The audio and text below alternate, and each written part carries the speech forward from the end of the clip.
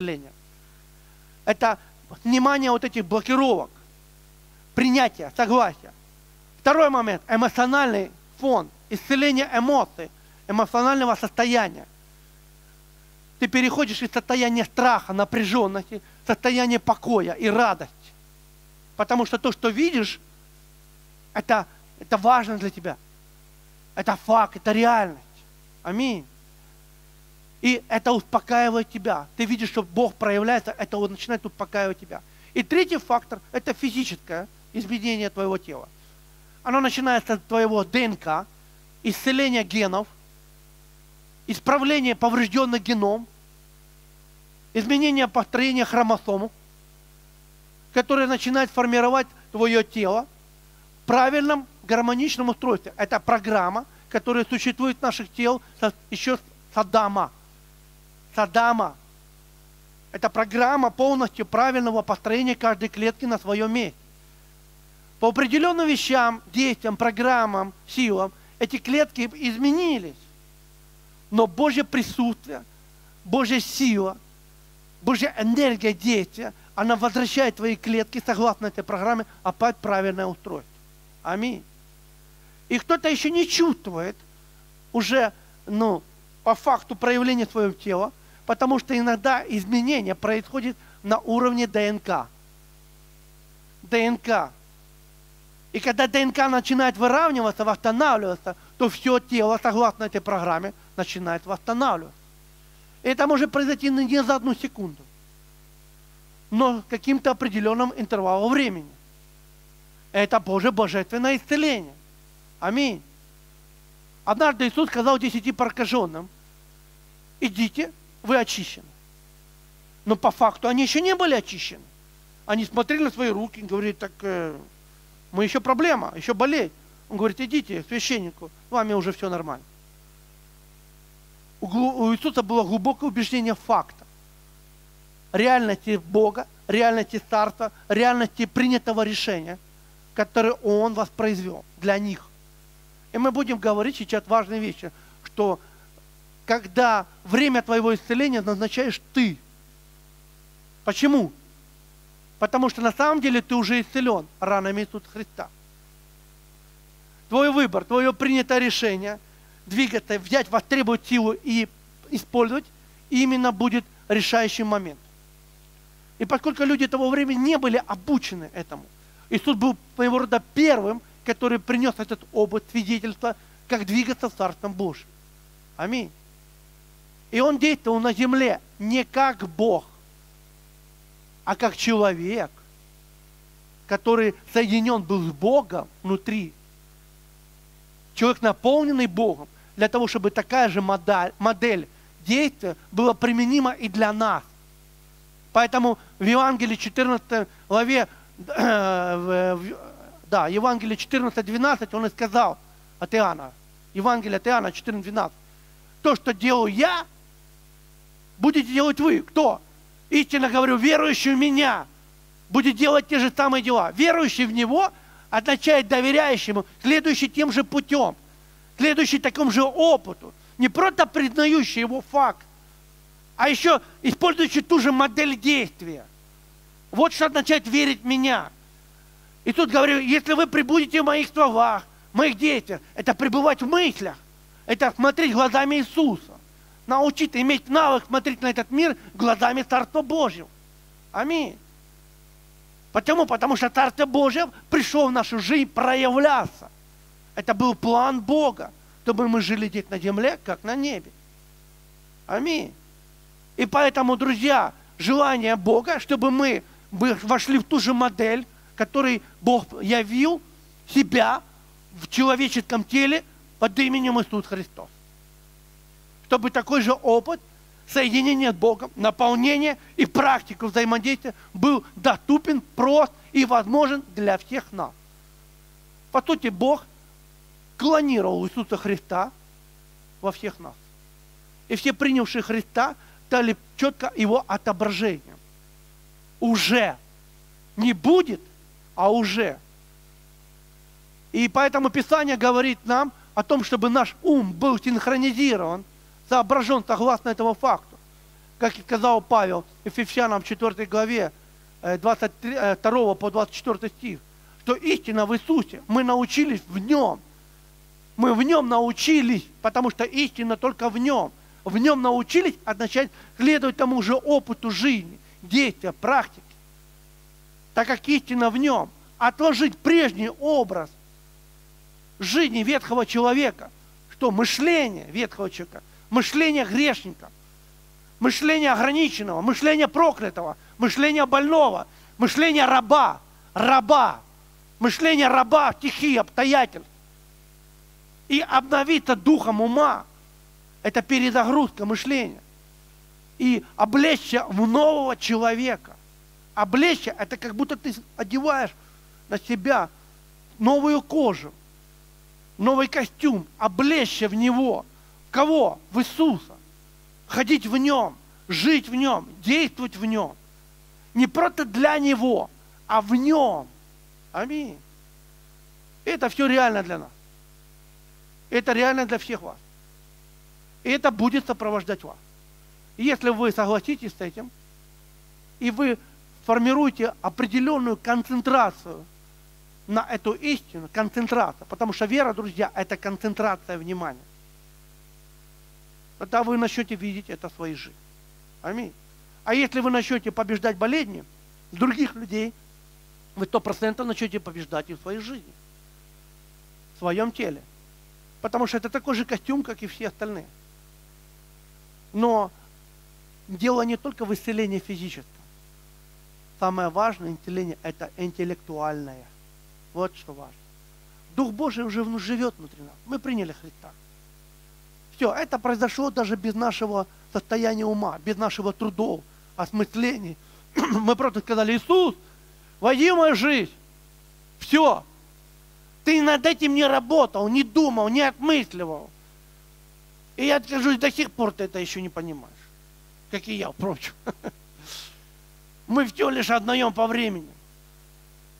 И то, что Христос поселился в нас и стал жить нас, и того, когда Он пришел, Он, не, он пришел полностью с VIP-пакетом. Вы поняли? VIP-пакет. VIP. Не эконом, не бюджет пакет, а VIP со всеми, со всеми возможностями царства. Поэтому Писание говорит, мы наследники Христу, наследники, имеющие равную долю, равное наследство. И это произошло в один миг. А в дальнейшем мы теперь открываем ту возможность, которую мы уже обладаем в нем. И наш путь, духовный род, заключается не в том, что мы, э, наш дух растет, а в том, что мы меняем твой ум. В этом наш труд. И мы преображаемся от славы к славе, от веры к вере. Аминь. Через опыт, через молитву, через изучение слова, через опыт других товарищей, которые уже что-то узнали и постигли. И благодаря этому наше осознание новой реальности увеличивается, а глубоким осознанием меняется и, реальность нашей жизни. Аллилуйя! Я думаю, я вот уже вдохновил. Достаточно. Ну все, по домам. Достаточно. Хорошо, друзья. Слава Господу. Когда мы начнем семинар, уже полдня прошло, это такая подготовка была. Хорошо, друзья. План нашего семинара будет такой. Мы уже говорили. Мы не говорим о помазаниях. Мы не говорим о дарах. Потому что у нас есть один дар. Это Христос. Это Дух Святой. Все Писание, все послание Слова Божьего обращено на веру. Слово послано и записано имеет цель создать нас веру, формировать нашу веру. И мы должны иметь глубокое понимание, что такое вера и как ее использовать. В соединении с Богом, связи с Его невидимым царством. Аминь. Хорошо. Поэтому мы должны понять, что такое вообще вера. Евреям 11 главе, в первом стихе, написано, вера же есть осуществление ожидаемость и уверенность. В- Внимательно, друзья. Вера же есть. Там не написано, а, вера, же, вера Божья же есть. Вообще, само определение веры, сама позиция веры. Что такое вера? Это глубокое убеждение существующего факта, который, возможно, невидим. Аминь. Уверенность в невидимом. То есть мы верим, в то, что есть, существуют вещи, которые мы не видим, но они реально существуют так же, как видимые вещи. И именно вера – это не предположение, это не надежда, это глубокое убеждение существующего факта, явления. Вы можете записать такую фразу. Вера – это знание. Знание о существующем явлениях. Видимых и невидимых. Это знание о существующем явлении. Видимых и невидимых. Процессах, происходящих во Вселенной. Как видимых, так и невидимых. Форми- Это знание формирует внутри нас убеждение, логику, логику мышления. Так называемый алгоритм мысли, алгоритм мышления, направленных на проявление, на поступки. И поэтому написано, вера же есть уверенность в невидимом и осуществление ожидаемого. То есть вера – это не просто мысли человека, это поступки. Потому что любые мысли человека, они э, превращаются в действие. Существует сегодня проблема в жизни многих верующих людей, потому что их вера ограничена просто мыслями, но не воплощенных в действие. И это, друзья, не является верой Божьей. Вера – это уверенность в невидимом. Скажу вам так, если у тебя нет уверенности, тогда ты не сможешь осуществить ожидаемое. Мы можем делать только то, во что мы уверены. Э, В нашей жизни существует очень много вещей, которые мы не видим, но мы настолько признали их существование, что наши поступки и действия, они отображают реальность нашей веры в том, что это невидимо, но это есть. Аминь. Много вещей. И мы живем этим и пользуемся по повседневной жизни. Аминь. Много вещей, которые мы настолько привыкли, что они работают, просто работают. Даже без всякого исследования, как они работают. Мы просто поверили, что это есть, и начали это использовать. И как только мы начали это использовать, мы начали видеть, что результат этого действия. Также, друзья, в, отнош... в отношении веры Божьей. Некоторые люди путают веру с предположением.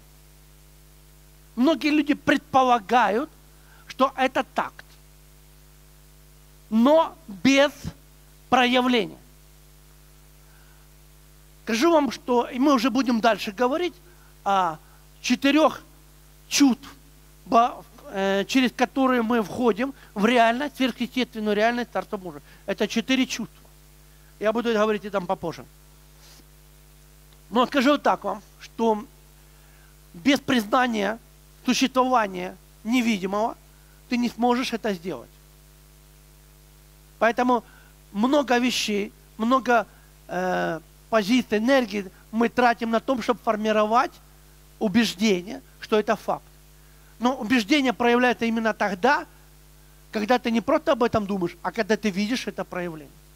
Марка 16 главе, 17 стихе Иисус сказал, знамения будут сопровождать. Знамение. И слово знамение означает доказательство, свидетельство, знак. Знак все, что есть, все, что ты слышишь, все, о чем ты, ты принял верою, это все реальность. Когда эта реальность становится для тебя реальность? Когда ты можешь это пощупать. Аминь. Мы будем говорить проще. Ну, я вам так скажу. Вот вы видите перед собой стакан. И вы даете характеристику, что он видимый, правильно? Он существует, потому что вы это видите. Но это еще не факт, что он существует. Есть в мире много явлений, как голограмма, иллю, э, мираж. Мы видим, думаем, что они реальны. На самом деле это нереально. Это э, эффект преломления луча. Но когда для нас это становится реальностью? Когда мы это пощупаем. Вот так же в отношении истины Божьей, в отношении Христа, в отношении Царства Божьего, который внутри нас. Иисус сказал, знамения будут сопровождать дальше. То есть то, что вы услышите, станет реальностью для вас тогда, когда вы увидите это в действии. Аминь, в действии. И многие, вере, многие люди, верующие, говорят правильные фразы, красивые фразы. Но на самом деле они не убеждены в этом. А, я скажу такую маленькую историю. Однажды, вы знаете, я получал от Бога различные такие стимулы двигаться дальше, не останавливаться на одном уровне моего мышления. И Он стимулирует меня и продолжает стимулировать различными свидетельствами, знаками, обстоятельствами из внешней среды, не только из Библии. Э, однажды я, вы помните вот эту передачу э, «Скажи правду», когда людей садили на этот детектор лжи. В общем, какая-то тупая передача, скажу вам, и грязная. Я ее не... Но вдруг случайно так получилось, что э, кто-то из моих родных смотрел телевизор, и я вдруг увидел, и, и думаю, что они там делают. И попал на, на, на момент, когда на этом детекторе лжи села верующая женщина. И задали, она говорит, я верующая, все так. Ну, зачем она туда пришла, не понимаю. Ну, хотела заработать денег, я так понял. И ей первый вопрос задали. Вы верите в Бога? И она сказала, да, конечно. А, а машина говорит, нет. Нет. Она говорит, что это такое? Вы тут что, чем вы занимаетесь? Типа, это специально, вы против Христа. Они говорят, да нет, мы не занимаемся, это же машина. Она измеряет ну, давление, пульс, и она определяет то, во что человек верит действительно, а то, что человек не верит. Вы знаете, мы можем придумать для тебя хоть какую-либо реальность, хоть что угодно. Ты можешь назвать себя Наполеоном, к примеру, Бонапартом. Понимаете? Здравствуйте, я Наполеон. И люди говорят, да, точно, да, да, я уверен, я реинкарнировался и так далее. Но вопрос, э, ты просто для тебя реальность какую-то А во-вторых, действительно это так, ты глубоко убежден. И на самом деле именно глубокие чувства покажут, что нет. Скажу вам, друзья, что наши жизни моделируют не наше первичное мышление, сознание, а наше подсознание. То, что отложено в глубине нашего мышления, в глубине нашей памяти – это именно то, что моделирует нашу жизнь. Это именно то, что, во что мы убеждены. Сам факт принятия информации в голову человека происходит через пять стадий. В нашем мозге происходит пять, пять своего рода фильтров. Мы не будем вдаваться особенно в биологию, но есть, существует пять фильтров нашего мышления, нашего сознания. И информация, которая приходит внутри нас, она проходит через эти пять фильтров. И каждый раз ты оцениваешь, насколько это важно для тебя, насколько это правда для тебя, насколько это реально. И не вся информация проходит все пять фильтров. Много отсеивается, но попадает именно то, во что мы действительно убеждены. Вот именно то, во что мы убеждены, откладывается в нас и моделирует нашу жизнь. Я приду пример. Поднимите руку, кто верит, что ранами Иисуса Христа он исцелен. Ну, большинство. А поднимите руку, кто испытывает симптомы болезни. Опа, все раз. Да ладно, мы же не на экзамене. Я вам просто объясню один, ваш, один важную вещь. Действительно, многие ну, испытывают трудности в теле, заболевания. И почему так происходит? Дело в том, что информация о том, что ранами Иисуса Христа ты исцелен – еще не прошла глубину осознания. Вы понимаете? Потому что над любой информацией нужно трудиться. Вот я еще один такой вопрос задам. Кто верит, что в нем живет Дух Святой? Это Дух Святой, друзья. Это тот, который в начале бытия и Дух Божий носился над бедную и начал творить, моделировать Вселенную, звезды, планеты, галактики. Это тот же Дух Святой, который сходил на скинию, люди падали.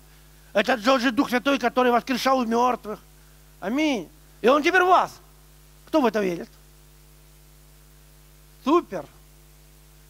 Слава Богу. Вы на правильном пути. На самом деле вы правильно думаете, мыслите. Это хорошо. А теперь задаю вопрос. У вас.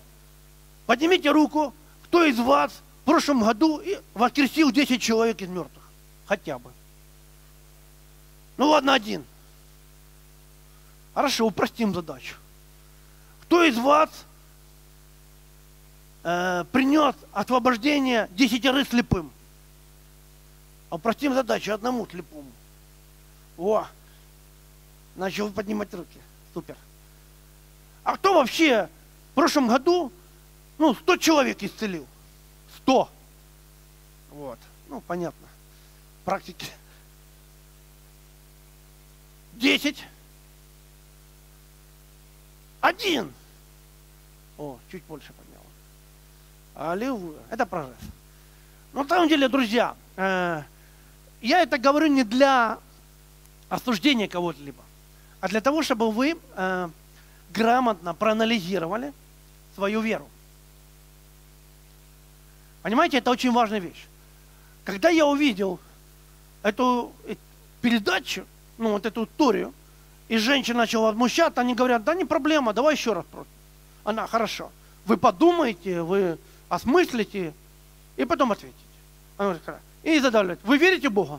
И она 10 минут или 5 минут там голове там прокручивала, там, там места из Библии, я так понял. Ну, я думаю, э, это я, я сразу увидел, что это из протестантов, из харизматов, скорее всего. Ну, почему? Потому что она так, ну, знаете, как бы видно людей, когда уже много уже общаешься о разных церковных сферах, и она так и говорит, да, я верю. Ждем машину, машина, нет!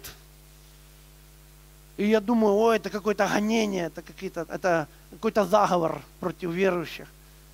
А, и, в общем, она вскочила, убежала, говорит, вы все обманщики и так далее. А я подумал, да нет, никто ничего не обманул.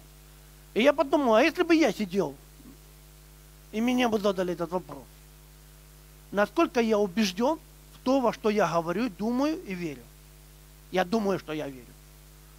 И вы знаете, я по-честному посмотрел – на твою жизнь, потому что вера определяется не твоими словами, а твоими поступками, действиями.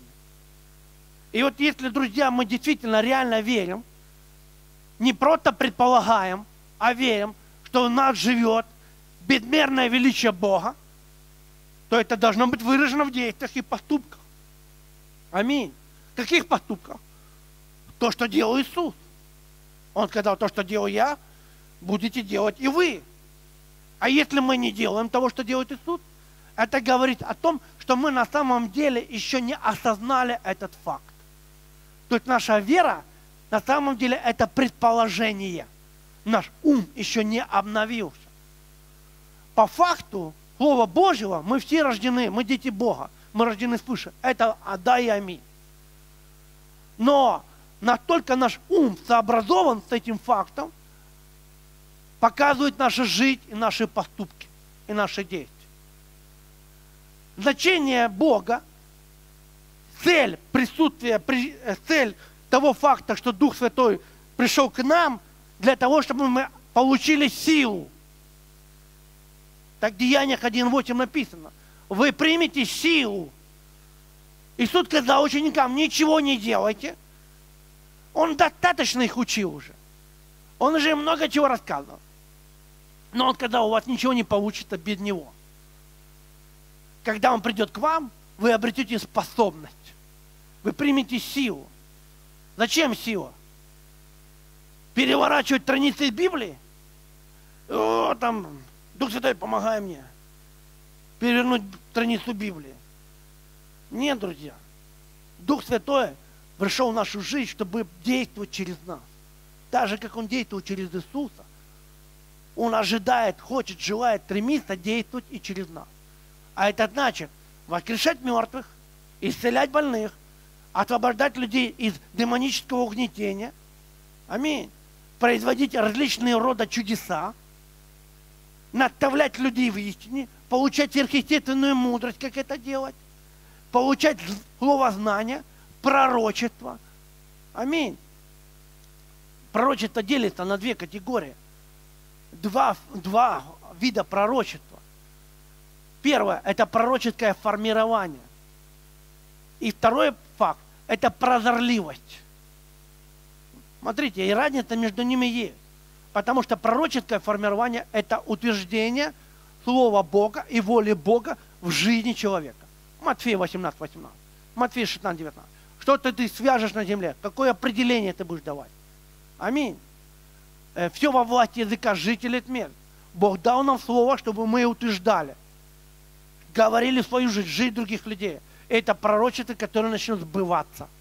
По сути, мы являемся своего рода архитекторами. То есть, можно так сказать, архитектор Бог, а мы являемся прорабами. Вы поняли? Прораб. Прорабу дается макет, чертеж, строение, который создал архитектор, а именно прораб осуществляет это уже в действии. И мы посредством слова начинаем моделировать нашу жизнь согласно Божьего Слова, которое Бог создал для нас. Аминь. И это важно. Это называется пророческое формирование. Это тоже пророчество. И есть прозорливость. А прозорливость – это способность видеть духовный мир вне времени и пространства. На самом деле, друзья, э, э, скажу вам, что в духовном мире нету времени и нету пространства. Потому что время, оно это отсчет относительно чего-то. От чего отсчитывается время нашей земли? От времени ее создания. Аминь. Вот, мы празднуем там до Христа, после Христа. Иудеи празднуют от создания мира, там 5700, 700 какой-то там год. Понимаете? От чего-то. А от чего начало существовать? От чего время не работает? Благодаря Солнцу и Луне. Мы отсчитываем дневной день и ночной день. И мы определили это по определенным участкам. А вы представьте себе, что нету Солнца и Луны. Тогда от чего ты будешь отсчитывать? Как ты можешь посчитать день, ночь, если нету, если постоянно светло? И нету светила, а все время светло. Как ты можешь определить пространство, если оно определяется относительно чего-то? Если ты в космосе, относительно чего? Вот так же в духовном мире. Там нету времени, нету пространства, нету границ. И все события, которые для нас э, должны произойти, там уже существующий факт. Все события уже являются в одной точке. В Бытие второй главе написано, что Бог успокоился уже от своих дел. Он вошел в седьмой день. То есть уже все события, которые мы ожидаем в своей жизни, уже произошедший факт. И в том числе твое исцеление, буквально еще до того, как ты заболел, Бог уже приготовил для тебя ресурс выздоровления. Еще до того, как проявил, пришла проблема в твою жизнь, Бог уже, уже сотворил решение выхода из этой ситуации. И оно существует. Поэтому, друзья, божественное исцеление – это не воспроизведение чего-либо нового. Это проявление существующего факта. Какого? ранами Иисуса Христа ты исцелен. Аминь. И это есть основание быть уверенным, что когда ты возлагаешь руки на людей, то ты своего рода в это время, в этой точке пространства, ты активируешь существующую программу, которую Бог совершил для всех людей, и исцелен. Аминь. Это колоссально все меняет, потому что твой ум начинает быть глубоко сосредоточенным на реальности существования результата. Аминь. В этом есть суть веры и механизм веры. Мы говорим, что вера – это знание, знание, знание. Как написано, вера от вышения. Римляна 10 главе. Вера от вышения, от вышения от Слова Божьего. И если бы не было послано Слово, тогда бы у нас не было бы веры. Тогда бы что у нас было? Просто человеческое воображение, предположение. Существование миллионов мнений, которые сегодня тоже, к сожалению, существуют. Но благодаря Слову Божьему записанному, мы имеем инструкцию одной мысли, одного действия, одной выраженного, выраженного действия, мышления, благодаря которому наши мысли должны синхронизироваться. Аминь. Уверенность в невидимом приводит тебя к осуществлению ожидаемого. Очень важно, чтобы твое уверенность невидимо было безупречным. В Якова 1 главе, 7-8 стихе написано, что человек двоящимся мышлением, двоящимся мыслями, не тверд в твоих путях, да не увидит такой человек что-либо от Бога. Написано э, э, 5, 6, 7, 8 стихе. Если вы просите что-то у Бога, слово прошение не означает слово э, дай мне. Это означает взять, контакт, соединение, связь. И эта связь с Богом должна быть безупречная. Потому что написано, что сомнение, колебания, это мнение, это, э, это состояние колебающегося ума. И оно похоже на волну морскую, которая идет, движима ветром, движима силой движения. Есть энергия мысли, которая нас ведет к результату. И вдруг она останавливается и возвращается обратно к исходной точке. Я верю и не верю. Будет, не будет. Это так или не так?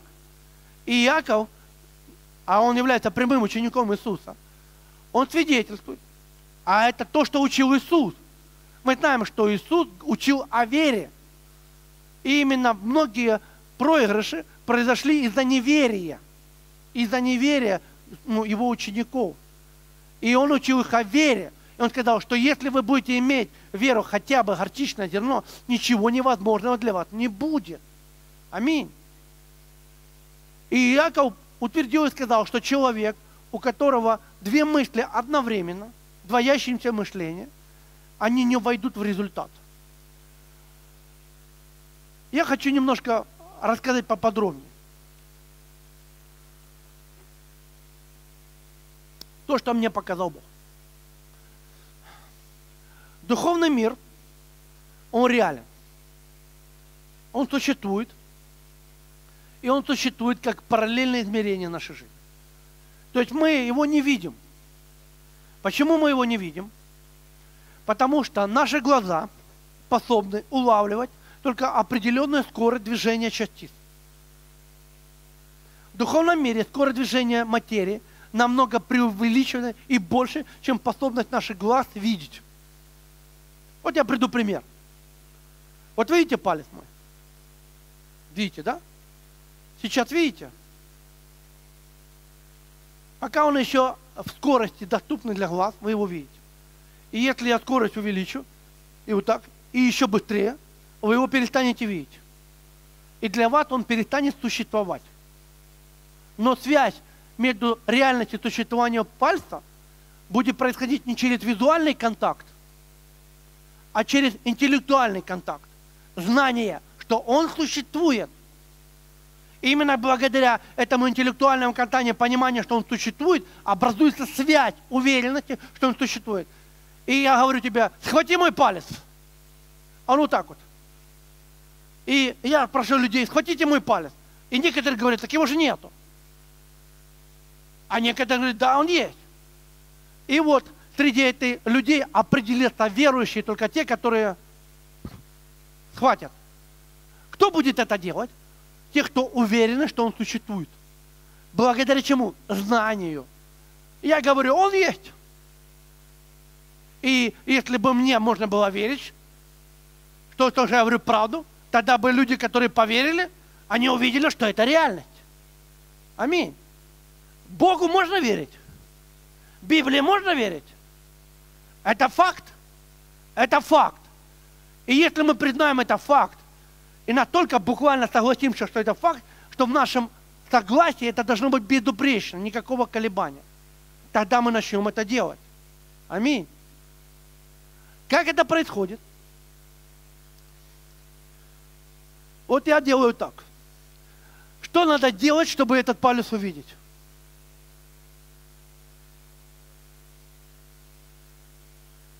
Все правильно? Развить такую же скорость головы. И как только ваша скорость синхронизируется с пальцем, для вас он будет в одной точке. А это значит видимым, ожидаемым и осуществимым. Аминь. Слово Божье, которое говорит о, о существовании невидимых вещей, и они невидимые, но они существуют так же, как видимые, говорит о том, что есть намного больше скорость, чем улавливает глаз. И для того, чтобы нам увидеть невидимое, наши мысли, потому что на самом деле наши глаза – это всего лишь, э, как бы сказать, это э, устройство, которое принимает информацию, передает сигнал мозг о том, что видимо и невидимо. Именно в нашем мышлении мы принимаем, реально это или нереально. И если наши мысли, а наши мысли подключены к глазам, то есть, другими словами, наши мысли имеют ту же самую скорость, которая имеет скорость воспроизводства, ну, воспроизводства наших глаз. А Слово Божье, духовный мир работает в таких скоростях. Для того, чтобы войти в такие скоростя, наш ум должен достичь такой же скорости. Но если наш ум будет привязан к нашим глазам, он такую скорость никогда не разовьет он будет только в одном определенной скорости. Тогда ты не будешь видим, осязать и убежден, что существует невидимый мир. И тогда ты не будешь никогда двигаться в этой сфере. Ты будешь двигаться только той сфере, которая для тебя понятна, для которой для тебя существует и реально. Царство Божие приблизилось к нам, и оно реально так же, как и видимый мир. И возможности Царства Божьего намного преувеличены и намного больше, чем возможности этого мира. Аминь. Благодаря этому мы и спасаемся, друзья. Благодаря сверхъестественному Богу, который приблизил твое сверхъестественное царство. Бог ожидает, желает и хочет, чтобы мы начали двигаться сверхъестественно. Аминь. Потому что мы уже сверхъестественные. Благодаря сверхъестественному Христу внутри нас. И Бог, вошедший нас, ожидает то мы также там и будем думать, мыслить и поступать, как Он. А это означает, наш ум должен развить такую же скорость. Как это происходит? Посредством принятия информации, мы говорим, вера – это знание, принятие информации, размышление над ней, признание ее и практика действий. Вот простой пример. Мы говорим, что Дух Святой живет внутри нас. Бог живет внутри нас. Бог живет внутри нас. Как ты это узнаешь? Скажу вам, что твое посещение собраний не свидетельствует о том, что Бог живет в тебе. То, что ты читаешь Библию, не свидетельствует, что Бог тебе. То, что ты поешь песни, молишься, что-либо делаешь, это не свидетельство.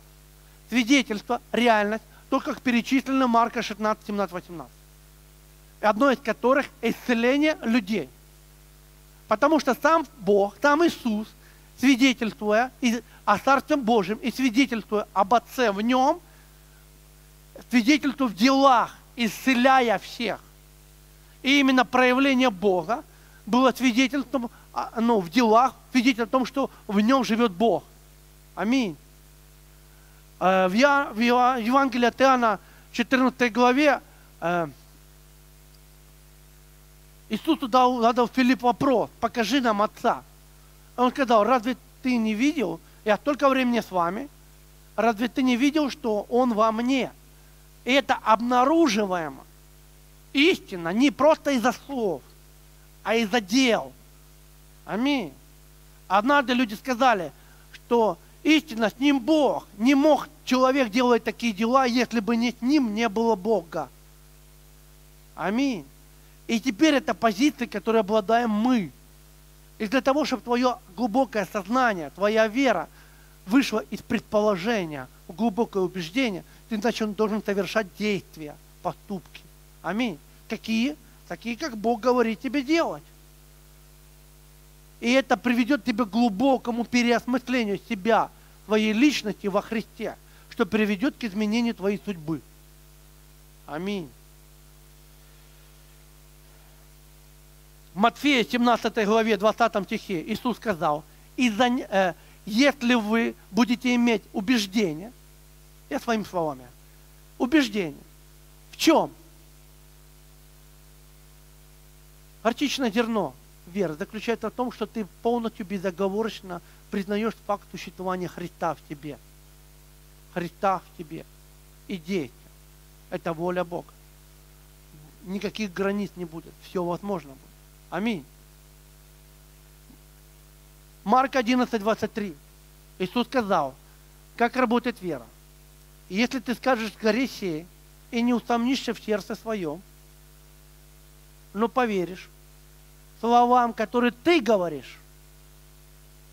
И здесь очень интересный момент, друзья. И это очень связано именно с Иаковом, о колебающемся уме. Наша задача формировать одну единственную глубокую убедительную мысль, одно полярное мышление внутреннего безоговорочного согласия с истиной. Это возможно только в том случае, когда ты принят решение быть покорен Богу.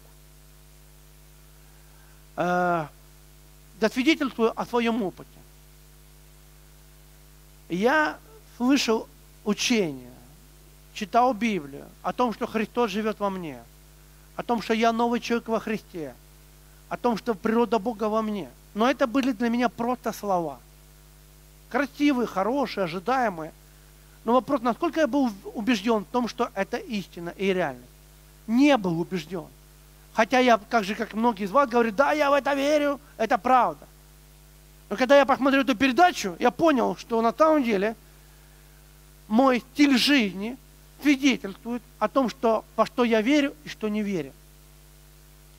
И это меня стимулировало на действие. Не у меня появилось глубокое понимание, желание, стремление увидеть эту истину. Иначе бы это было бы просто пустая